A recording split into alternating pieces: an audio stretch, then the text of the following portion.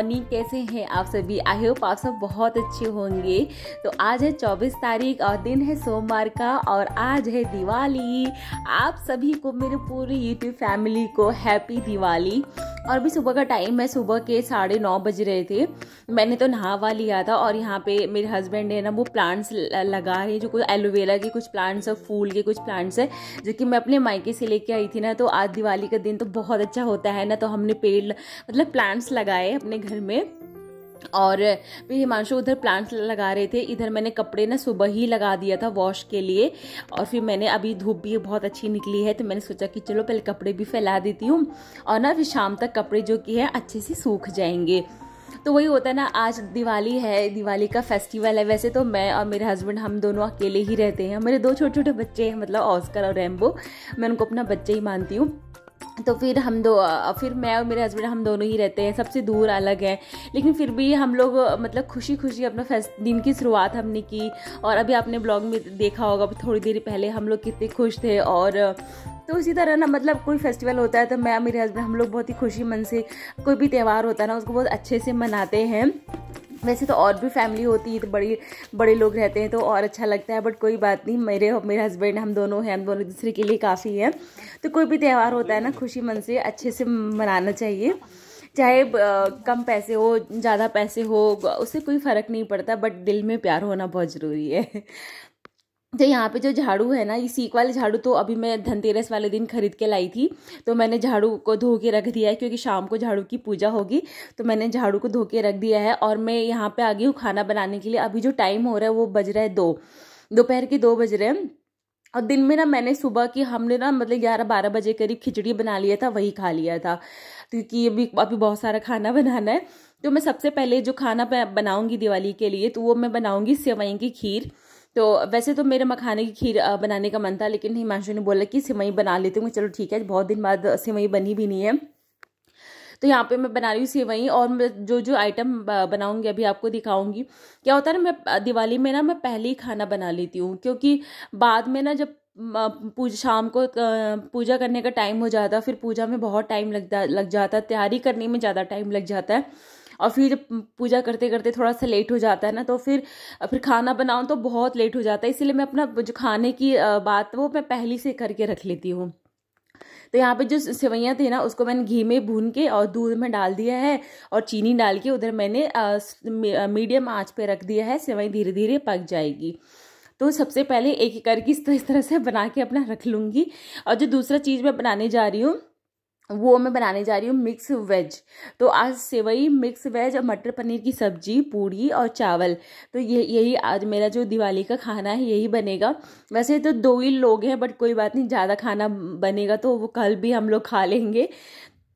तो यहाँ पे ना मशरूम, मैम जो मिक्स वेजिटेबल है ना, उसके लिए मशरूम है, गोभी है, आलू है, परवल है और बीन्स है। तो मैंने इन सबको क्या किया ना, सबको काट के और थोड़ा थोड़ा थोड़ा तेल डाल के ना, सबको अलग अलग फ्राई कर कर लूँगी। तो उससे क्या होता है ना, जब फ्राई कर लो ना तो फिर सब्ज़ी बहुत ही ज़्यादा टेस्टी लगती है। तो इस तरह से मैं धीरे सबको फ्राई कर लेती हूँ।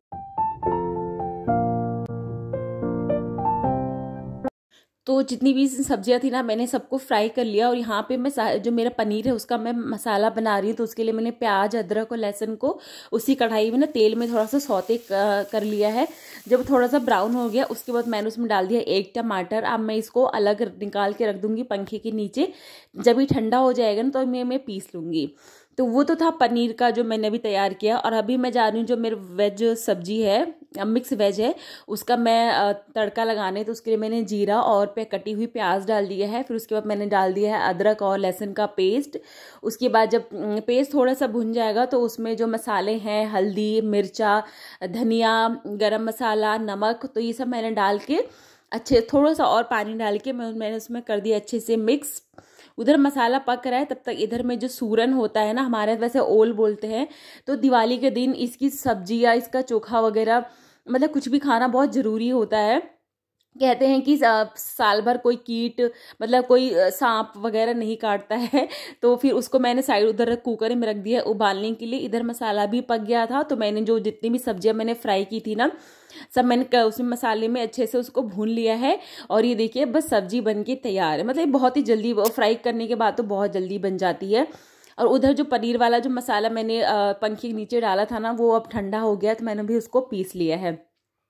तो यहाँ पे ना मैं फ्राई पैन में ही जो पनीर है वो मैं बना लूँगी। तो उसे मैंने डाल दिया है तेल और ये पनीर को भी मैंने अच्छे से वॉश कर लिया है। जब तक तेल उसे गर्म जब हो गया ना तो मैंने उसमें थोड़ा सा डाला है कसूरी मेथी। कसूरी कसूरी मेथी डालो ना तो बहुत ही ज़्यादा अच्छा टेस्ट आ जाता है। उसके बाद जो मैंने मसाला भी पीसा था वो मैंने उसमें डाल दिया है। अब बाकी इसमें जो जो बेसिक मसाले हैं वो पड़ेगा जैसे कि हल्दी हो गया मिर्चा धनिया गरम मसाला नमक और कस, वो कश्मीरी लाल मिर्च। तो उस कश्मीरी लाल मिर्च डालने से क्या होता है ना कलर बहुत अच्छा आ जाता है। फिर उसमें मैं, मैंने थोड़ा सा पानी डाल के मसाले को थोड़ी देर तक मुझे अब पकाना है। तो मैंने मसाले को रख दिया है पकने के लिए। इधर जो पनीर है, इसको मैं थोड़ा सा काट लेती हूँ। तो वही है ना कि मटर पनीर की सब्ज़ी तो बहुत ही ज़्यादा अच्छी लगती है। इसमें जो कसूरी मेथी डाल दो ना तो इसका जो स्वाद है ना, वो बहुत ही ज़्यादा बढ़ जाता है। तो यहाँ पे मैंने इतना काट लिया थोड़ा सा पनीर मैंने रख दिया है ऑस्कर रैम्बो के लिए, उनको बहुत ज़्यादा पनीर पसंद है। तो यहाँ पे जो मटर थी ना, फ्रोज़न मटर रही है तो बहुत जल्दी गल जाएगी तो इसको भी मैंने मसाले में भून लिया है। अब बस इस, उसके बाद मैं इसमें डाल दूँगी पानी इसके ग्रेवी के लिए, ताकि थोड़ी देर ये पक जाए, इसके साथ साथ मटर भी पक जाएगा। वैसे तो मटर बहुत ही सॉफ्ट होता है, फ्रोज़न वाला बहुत जल्दी पक जाता है। उसके बाद जो पनीर था, वो मैंने डाल दिया है। बस अब थोड़ी ही देर में ये सब्ज़ी भी मेरी बन जाएगी। और इधर जो ओल था ना, सूरन, वो भी उबल गया था तो मैंने उसको भी छील लिया है। अब मैं इसका बना दूँगी चोखा। और इधर देखिए हिमांशु जो मंदिर वगैरह है ना, इनका काम था मंदिर वगैरह साफ़ करना। ये अपनी ड्यूटी में लगे हुए थे। इधर ही रेम्बो बैठा हुआ है। और इस कमरे में देखिए, ये ऑस्कर बैठी हुई है बिस्तर पे। तो मैं अब बना लेती हूँ चोखा। तो चोखे के लिए मैंने हरी मिर्च लिए तीन, चार और पाँच छः कली लहसुन लिया है और इसमें मैं डालूँगी खटाई, क्योंकि खटाई इसलिए ना आमचूर पाउडर नहीं है मेरे पास तो खटाई पीस लो, नहीं तो ये गले में थोड़ा थोड़ा लगता है ना जो ओल होता है। तो इसलिए उसको खटाई डालना ज़रूरी होता है या फिर आमचूर पाउडर। तो मैंने पी, पीस लिया है, उसके बाद उसमें डाल दूँगी नमक और अच्छे से, बिल्कुल जैसे चोखा बनाते हैं ना आलू वगैरह का तो अच्छे से मैश कर लेना है, उसको मैश करने के बाद मैं इसमें थोड़ा सा धनिया हरी हरी कटी हुई धनिया और थोड़ा सा सरसों का कच्चा तेल ऊपर से डाल देंगे। तो मतलब हम लोग ऐसे ही बनाते हैं सूरन का चोखा और दिवाली पे बहुत ये सबसे इंपॉर्टेंट डिश होती है। तो ये थोड़ा सा ही बनाया है मैंने एक कटोरी, वैसे भी एक कटोरी भी बहुत ज़्यादा है क्योंकि मैं मैं और मेरे हस्बैंड बस हम दो ही लोग हैं। तो एक डिश मेरी ये भी बन के तैयार होगी। तो मेरी अभी सेवई, दो सब्ज़ी और ये जो ओल का चोखा है, ये बन चुका है। चार चीज़ें मैंने भी बना ली हैं। एक बस अब बस पूड़ी बनाना बाकी है। वो मैं जब पूजा वगैरह हो जाएगी ना, तब मैं रात में बनाऊँगी। तो अभी मैंने किचन को थोड़ा सा मैं पोछ देती हूँ, किचन साफ़ कर देती हूँ। किचन काम मेरा उधर हो चुका है। अब मैं आ गई हूँ फटाफट माला बनाने के लिए। मैं दो माला तो हम लोग खरीद के लाए थे, लेकिन ना दरवाजे पे लगाने के लिए मैंने सोचा दरवाजे पे भी टांग दे तो अच्छा लगेगा। तो फूल पड़े हुए थे और और आम के पत्ते तो हर जगह ही मिल जाते हैं, आम के पेड़ हर जगह होते हैं। और ये देखिए, मैंने माला बना ली, कितनी सुंदर लग रही है ना। तो एक माला मैंने बना दी, एक माला मुझे और बनानी है, क्योंकि जो गेंदे का फूल है ना, अभी भी थोड़ा सा बचा हुआ था मैं सोचा कि चलो आम का पत्ता लगा के एक माला और बना देती हूँ।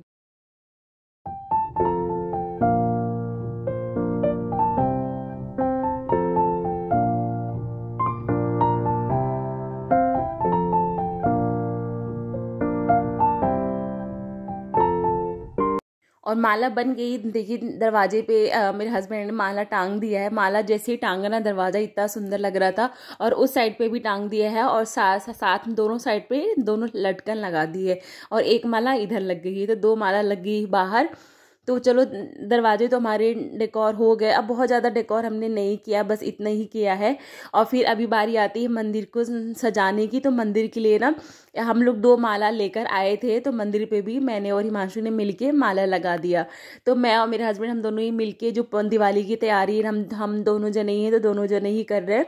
और इधर जो दिया है ना, दिया को भी क्या होता है कि उसको भिगा के थोड़ी देर रखना पड़ता है ना, नहीं तो वो बहुत ही ज़्यादा वो मतलब ड्राई रहता है और तेल भी बहुत ज़्यादा सोख लेता है। तो इसलिए मैंने पानी में ना थोड़ी देर उसको भिगा के रख दिया है और जो बड़े वाले दिए हैं ना, चार दिए लाए थे तो उसको मैंने धो के रख दिया ताकि उसका जो पानी है ना वो सूख जाए। और यहाँ पे प्रसाद के लिए जो सेब वगैरह लाए थे ना, फ्रूट्स के लिए सेब तो फिर मैंने उसको भी धो के रख लिया है। तो इस तरह से धीरे धीरे सारे काम, जो भी पूजा के सारे काम में ना वो तो निपट चुका है। अब जो शाम, अभी टाइम हो रहा है, पौने पाँच बज रहे थे। तो मैंने सोचा कि चलो एक बार फटाफट सारे घर का एक बार ऐसी थोड़ी थोड़ी सफ़ाई कर लेती हूँ, क्योंकि अभी दिन डूबा नहीं हुआ था, नहीं तो दिन डूब जाता तो फिर झाड़ू नहीं लगा पाती मैं। तो होता है ना, जब कुछ तैयारी करो खाना पीना बनाओ घर सजाओ थोड़ा सा गंदा हो जाता है तो फिर इसीलिए मैंने फटाफट पूरे घर में लगा दिया है झाड़ू, क्योंकि अब थोड़ी देर में पूजा का टाइम है। पूजा का टाइम छः बज के पचपन मिनट से है। तो मैंने यहाँ पे झाड़ू लगा के थोड़ा थोड़ा ना पूरे घर में पोछा भी लगा दिया है, क्योंकि ना थोड़ा थोड़ा गंदा सा हो गया था। फूल वगैरह इधर नीचे गिर गए थे, खाना बना था, वो भी गंदा हो गया था। तो मैंने यहाँ पे झाड़ ये पोछा लगा दिया है। इसके बाद तो मैं जाऊँगी ना, फिर नहा वहा के फिर तैयार हो जाऊँगी। वैसे तो मैंने सुबह नहाया था, लेकिन फिर भी एक बार और नहा लूँगी। और यहाँ पे जो कपड़े सुबह फैलाए थे ना, वो भी सब सूख गए हैं। अब इनको मैं ले जाके ना फटाफट फोल्ड करके अलमारी में भी लगा दूँगी। और ये देखिए, मैं आ गई हूँ नहा के नहा के सूट पहन लिया है और ये सूट ना मुझे राखी पे ना मम्मी ने मुझे दिया था तो ये वही सूट है, बिल्कुल नया सूट है तो मैंने आज ही पहना है और मैं यहाँ पे बना रही हूँ चौक, क्योंकि पूजा करने के लिए चौक बनाना बहुत ज़्यादा ज़रूरी होता है तो यहाँ पे मैं और मेरे हस्बैंड हम दोनों ले मिल के पूजा की तैयारी कर रहे हैं और मैंने यहाँ पे कलश वगैरह बैठाने की तैयारी कर रही हूँ, मैंने उस पर स्वास्तिक भी बना दिया है और हिमांशु भी उधर कुछ तैयारी करे हाँ। वो दरवाजे पे स्वास्तिक वगैरह बना रहे थे और ये जो दिया है ना, इन सब में वो तेल डाल रहे थे और मैं दिए में जो कि वो बाती लगा रही थी।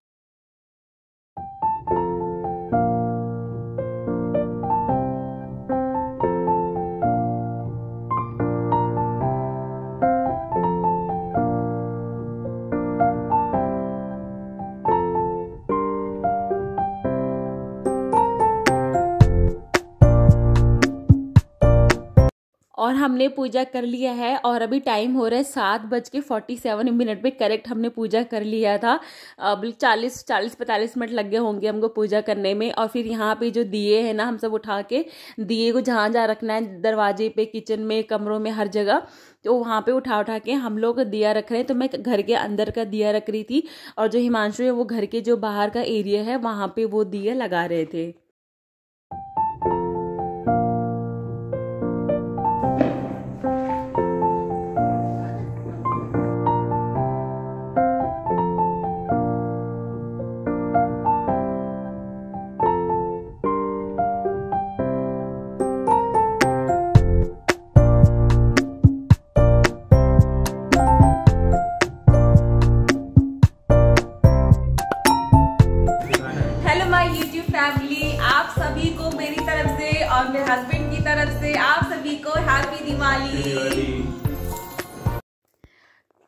दिवाली वगैरह तो सब हो चुकी है। मतलब जो पूजा वगैरह थी, दिया विया रखना सब हो चुका है। सबको फ़ोन करके विश भी कर दिया, सबको हैप्पी दिवाली बोल दिया।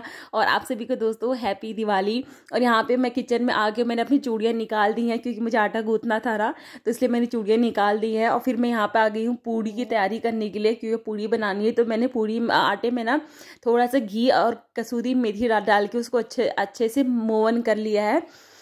कसूरी मेथी वाली पूड़ी ना बहुत अच्छी लगती है, आप भी ट्राई करना अगर आपने नहीं बनाया होगा। तो यहाँ पे मैंने कढ़ाई भी रख दी है, कढ़ाई में डाल दिया तेल। जब तक तेल गर्म होगा, तब तक इधर में जो पूड़ी है वो मैं फटाफट बेल लूँगी, क्योंकि बहुत ज़्यादा पूड़ियाँ तो है नहीं, बस दो ही लोग लोगों की है तो आठ नौ पूड़ियाँ होंगी मुश्किल से। तो यहाँ पे देखिए, और जो दिया जल रहा था किचन में, इतना सुंदर लग रहा था ना, बहुत ही अच्छा लग रहा था। तो यहाँ पे मैं फटाफट जो कि है, मैं पूड़ियाँ बना लूँगी। इसके बाद इसके बाद हम लोग फिर खाना खा लेंगे, फिर ऑस्कर एम्बू को फिर मैं खाना दे दूँगी।